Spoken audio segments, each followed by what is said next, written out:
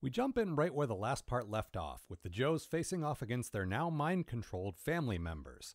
No previously on G.I. Joe or anything, just straight to the action. Keep up, kids, we don't have time to slow down and explain things to you. Unsurprisingly, as the Joes start making heartfelt appeals to each of their personal relatives, Cobra's hold on them begins to waver. I warned you this would happen! The Baroness calls Dr. Marks, the mad scientist who helped develop this whole mind control hoojoo, and he's reluctant to dial things up because it might destroy the minds of their captives. Wait.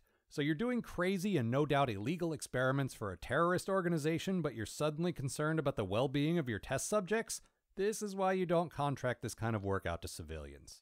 While the Joes are gassing their families, some of the other Joes are taking those extremely delicate and highly explosive crystals for a ride over some rough terrain. Because I guess the hammer test from the previous episode wasn't conclusive enough? Speaking of plans too dumb to work, the guys who were trying to gas their families seem utterly baffled that the gas didn't manage to penetrate the protective suits that Cobra put them in. Then they catch them all in a big net, but the Baroness is at least half a step ahead of them and activates some kind of net destroying weapon in their suits. Everyone's super worried that they're going to plummet to their deaths until someone realizes that they'll probably be fine if they fall into the water, which is exactly where they were plummeting toward in the first place, and man, are we unobservant. Being a sailor, Shipwreck rushes to fish them out of the water on his motorcycle, but Spirit stops him. No!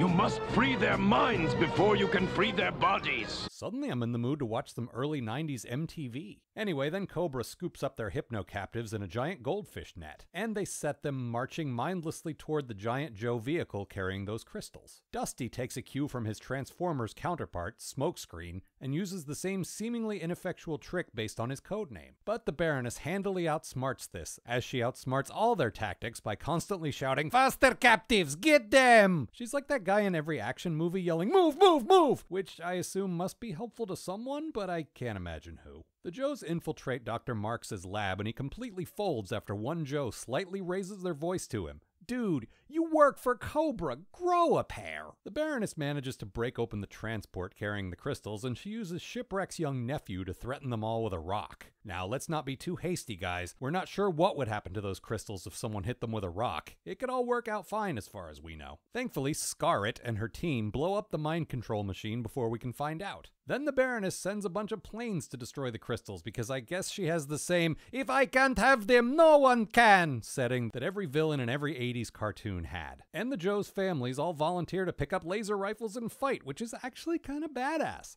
Especially old Charlie Iron Knife's grandfather, who I don't think is exactly in the same fighting shape as some of the others. Then the Cobra helicarrier, which I can only assume they stole from S.H.I.E.L.D. and painted a bunch of snakes all over it, descends and tries to snatch up the crystals with their giant claw game style claws. But Grandpa Iron Knife totally saves the day by shooting down a Cobra jet with a rifle from like 500 yards and forcing it to crash into the cables holding the claws. Yeah, that old dude kinda rocks. The crystals smash into the ground and explode on impact, which I assume the Joes found an extremely unexpected outcome. There's a weird epilogue where the Baroness goes after one more Joe's family, Gung Ho's, but he comes from hardy swamp folk. What do you call a hillbilly from the bayou? A, a swamp billy? Anyway, he has a giant family filled with tough rednecks who handily defeat her and her men and force her to eat gumbo, which is not a callback that I planned at all, but it's nice when the show plays along with my stupid running jokes.